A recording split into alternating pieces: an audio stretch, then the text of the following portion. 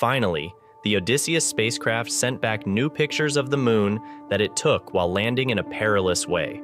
It was the first lander made in the US to reach the moon since the last Apollo mission. In this video, we will show you some amazing images of the lander's descent and landing and explain what they tell us about the lander's condition and location. We will also discuss what we can learn from its successes and failures. If you are interested, then stay tuned and watch this video until the end. And don't forget to like, share, and subscribe for more updates and news on lunar exploration.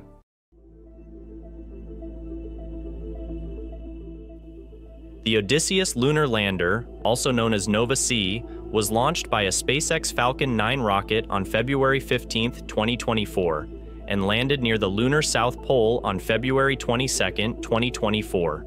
It was the first spacecraft to use Methalox propulsion to navigate between the Earth and the Moon, and it carried six NASA science payloads.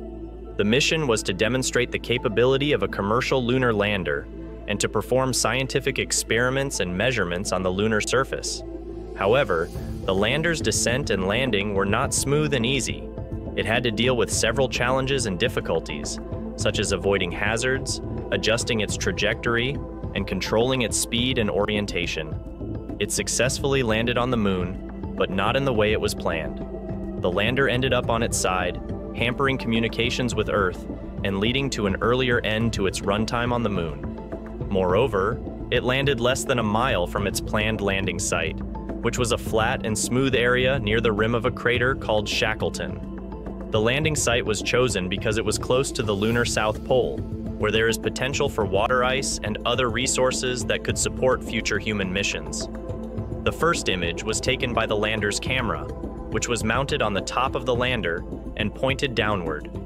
It shows the lander's shadow and the plume of dust created by its engine as it was about to touch down. It also shows the rough and rugged terrain that the lander had to avoid and the contrast between the dark and bright areas of the moon. The image was taken at an altitude of about 50 meters, and it has a resolution of about 5 centimeters per pixel. It was transmitted to Earth shortly after the landing, and it was the first image from the lunar surface that the lander sent back. In another image shared by Intuitive Machines on Monday, the company said the spacecraft has delivered shots of its descent into the Malapert A region of the Moon, which lies near the lunar South Pole. The third image was taken by NASA's Lunar Reconnaissance Orbiter, which is a spacecraft that has been orbiting the Moon since 2009 and mapping its surface in high resolution. The image shows the lander after it landed on its side, with an arrow pointing to it. It was taken at an altitude of about 100 kilometers, and it has a resolution of about 1 meter per pixel. The Odysseus lunar lander may have landed on the moon, but its mission is not over yet. The lander still has some data and information to send back to Earth, and maybe some experiments and measurements to perform on the lunar surface if possible. However, the lander's operation and communication are not easy and constant. It has to face some difficulties and limitations, such as the harsh and variable environment of the moon and the limited power and bandwidth of its systems. One of these challenges that will affect its survival and functionality is the sun outage. This is a phenomenon that occurs when the sun passes behind the moon, blocking the communication between the lander and the Earth. It happens twice a year, around the equinoxes, and it lasts for about two weeks. During this time, the lander cannot send or receive any signals or commands from the Earth, and it has to rely on its own internal battery and memory. This also affects the lander's solar panels, which are the main source of power for the lander. Without the sun, the lander's battery will drain quickly, and the lander's systems will shut down gradually. This phenomenon is expected to start on March 4th, 2024, and end on March 18, 2024. This means that the lander has only a few days left to communicate and operate on the moon before it goes into a long and silent sleep. The team is trying to make the most of this time and to send as much data and information as possible to the Earth, and to perform as many experiments and measurements as possible on the lunar surface. They are also trying to optimize the lander's power and bandwidth, and to prepare the lander for the sun outage and the possible mission end. These failures and problems are not only disappointing and frustrating, but also informative and instructive.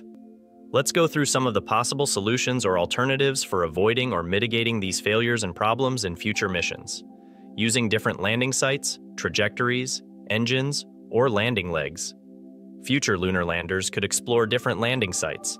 They could also use different trajectories, such as a more vertical or horizontal approach, to avoid hazards and adjust their speed and orientation. Moreover, using different engines, such as electric or hybrid propulsion, will help to reduce the plume of dust and fuel consumption. They could also use different landing legs, such as foldable or retractable legs, to increase the stability and flexibility of the lander.